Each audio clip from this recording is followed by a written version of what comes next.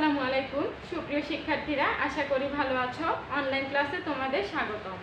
নবম, দশম শ্রেণির শিক্ষার্থীদের জন্য আমি আজকে তোমাদের রসায়ন বইয়ের অষ্টম অধ্যায়, রসায়ন শক্তি এই চ্যাপ্টারটি নিয়ে আলোচনা করব। গত ক্লাসে আমরা এই চ্যাপ্টারের বন্ধন শক্তি ব্যবহার করে কীভাবে রাসায়নিক বিক্রিয়া তাপের পরিবর্তন, অর্থাৎ ডেলএইচ এর মান হিসাব করা হয়, তার তার একটি গাণিতিক সমস্যার সমাধান করেছি।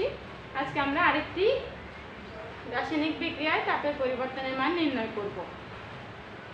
তাহলে খেয়াল করো, ইথেন অক্সিজেনের সঙ্গে বিক্রিয়া করে কার্বন ডাই অক্সাইড এবং পানি উৎপন্ন করে। এই বিক্রিয়ায় এর মান কত?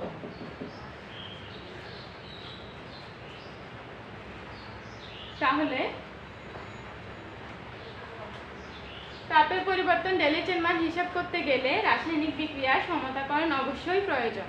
গত ক্লাসে আমরা যে রাসায়নিক বিক্রিয়াটিতে তাপের পরিবর্তন হিসাব করেছি, সেই রাসায়নিক বিক্রিয়াটিতে সমতাকরণ করা ছিল, তাই আমাদের সমতাকরণ করার প্রয়োজন হয়নি। কিন্তু প্রত্যেকটি বিক্রিয়ায় তাপের পরিবর্তনের মান হিসাব করতে হলে আমাদেরকে আগে দেখতে হবে যে বিক্রিয়াটিতে সমতাকরণ করা আছে কিনা। যদি সমতাকরণ না থাকে, তাহলে আমাদেরকে অবশ্যই সমতাকরণ করে নিতে হবে। তাহলে খেয়াল করো, এখানে কার্বন আছে দুইটি, এখানে আছে একটি। তাহলে এখানে আমরা দুইটি কার্বন পাওয়ার জন্য টু দিব। এখানে হাইড্রোজেন আছে ছয়টি, এখানে আছে দুইটি। তাহলে আমাদের এখানেও ছয়টি হাইড্রোজেন লাগবে, তাই আমরা এখানে একটি থ্রি দিব। তাহলে আমরা ছয়টি হাইড্রোজেন পেয়েছি। আর আমাদের বাকি আছে অক্সিজেন অক্সিজেন এখানে আছে দুই দুগুণে চারটি, এখানে আছে তিনটি। তাহলে টোটাল অক্সিজেন হচ্ছে ষাটটি। কিন্তু আমাদের এখানে অক্সিজেন আছে দুইটি। তাহলে এখানে যদি আমরা আরও থ্রি পয়েন্ট ফাইভ দিই, তাহলে আমরা থ্রি পয়েন্ট ফাইভকে দুই দিয়ে গুণ করলে টোটাল ষাটটি অক্সিজেন পাবো। তাহলে আমরা এখানে লিখতে পারি থ্রি পয়েন্ট ফাইভ অথবা সেভেন বাই টু তাহলে খেয়াল করো, আমাদের সমাধান সম্পূর্ণ হয়েছে। এখন আমাদেরকে ডেলিজ এর মান নির্ণয় করতে হবে। প্রথমে সমাধান শেষ হলে আমাদেরকে দেখতে হবে যে এখানে কি কি বন্ধন রয়েছে। তাহলে খেয়াল করো ইথেনের স্ট্রাকচার আমরা যদি খেয়াল করি, তাহলে এখানে আমরা দেখতে পাচ্ছি কার্বন এবং হাইড্রোজেন। কার্বন এবং কার্বন বন্ধন রয়েছে, আবার কার্বন এবং হাইড্রোজেন বন্ধন রয়েছে। প্লাস এখানে আছে seven by two. Oxygen, double bond oxygen. এখানে আছে দুই mole.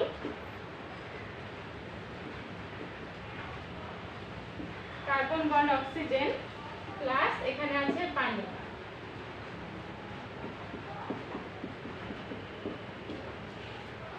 তাহলে খেয়াল করো, এখানে আছে কার্বন বন্ড কার্বন একটি প্লাস ছয়টি আছে কার্বন বন্ড হাইড্রোজেন এখানে আমরা দেখতে পাচ্ছি হাইড্রোজেন আছে ছয়টি, তাহলে ছয়টি আছে কার্বন বন্ড হাইড্রোজেন প্লাস এখানে three point five into oxygen double bond oxygen আছে একটি। আর এখানে উৎপাদের ক্ষেত্রে খেয়াল করো কার্বন ডাবল বন্ড অক্সিজেন আছে দুইটি। তাহলে টু ইন্টু টু অর্থাৎ ফোর চার mole carbon, double bond oxygen রয়েছে। আর এখানে আছে অক্সিজেন বন্ড, হাইড্রোজেন আছে দুইটি। তাহলে আমরা এখানে থ্রি ইন্টু টু মানে হচ্ছে সিক্স অক্সিজেন বন্ড, হাইড্রোজেন। এরপর আমরা বন্ধন শক্তির মান বসিয়ে ডেল এর মান নির্ণয় করব। তাহলে প্রথমে আমরা জানি del H equal to B one minus B two.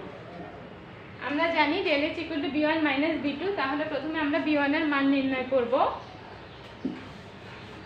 তাহলে আমরা লিখতে পারি B one equal to B one equal to এখানে আছে কার্বন বন্ড কার্বন একটি তাহলে carbon bond carbon carbon bond কার্বনের বন্ধন শক্তি হচ্ছে তিনশো চুয়াল্লিশ।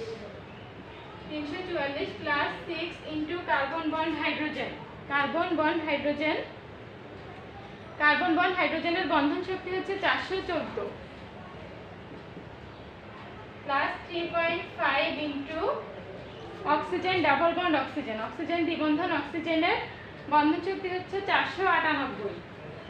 চারশো আটানব্বই। এখন আমরা আমরা যদি বি এর মান ক্যালকুলেট করি, তাহলে আমরা পাচ্ছি তিনশো চুয়াল্লিশ প্লাস আমরা চারশো চোদ্দোকে ছয় দিয়ে গুণ করলে পাই দুই হাজার চারশো চুরাশি, দুই হাজার চারশো চুরাশি plus three point five into four ninety eight তাহলে আমরা পাচ্ছি এক হাজার সাতশো তেতাল্লিশ। এরপরে তিনটি সংখ্যা আমরা যোগ করলে পাচ্ছি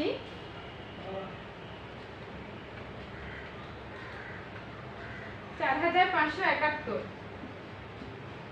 চার হাজার পাঁচশো একাত্তর। এটি আমাদের বি ওয়ানের মান। এরপর আমাদের বি এর মান নির্ণয় করতে হবে।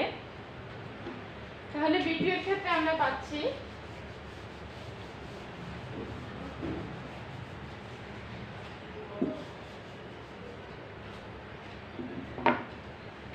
বি টু এর ক্ষেত্রে আমরা পাচ্ছি চার mole carbon, double bond carbon. তাহলে four into carbon, double bond কার্বনের বন্ধন শক্তি কত?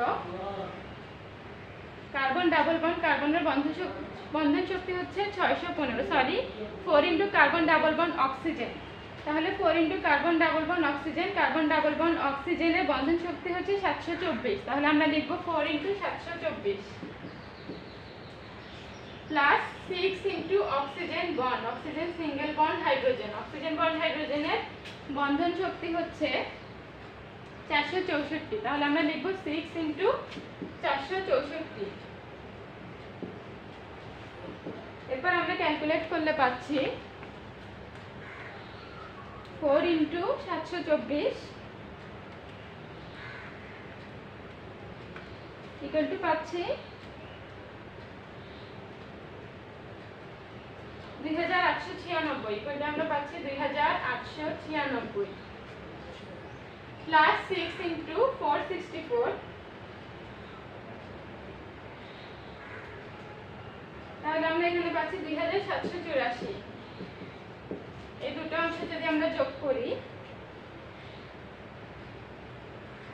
তাহলে আমরা পাচ্ছি পাঁচ হাজার ছয়শো আশি। এটা হচ্ছে আমাদের বি টু এর মান। তারপরে আমরা ডেল এইচে চলে যাব। Del H equal to B one minus B two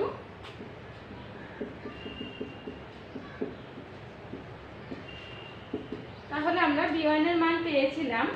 চার হাজার পাঁচশো একাত্তর মাইনাস বি টু এর মান আমরা পেয়েছি পাঁচ হাজার ছয়শো আশি।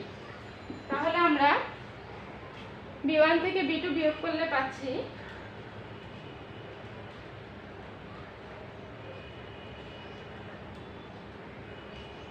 Minus eleven zero nine. তাহলে আমরা দেখতে পাচ্ছি এখানে ডেলেজ মান এসেছে ঋণাত্মক। তাহলে এই বিক্রিয়াটি একটি তাপোৎপাদী বিক্রিয়া। আর এই বিক্রিয়ায় মাইনাস এগারোশো এগারোশো নয় কিলো জুল পার মোল তাপ উৎপন্ন হয়।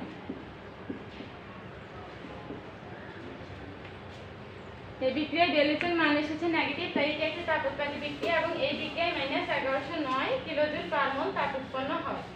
আশা করছি ইনশাল্লাহ যে কোনো বিক্রিয়া দিলে তোমরা তার বন্ধন শক্তি থেকে ডেলিজের মান নির্ণয় করতে পারবে। ঠিক আছে, শিক্ষার্থীরা, আজকে এই পর্যন্তই। ইনশাল্লাহ পরবর্তী ক্লাসে আবার দেখা হবে। সেই পর্যন্ত সুস্থ থেকো, ভালো থেকো, আল্লাহ হাফেজ।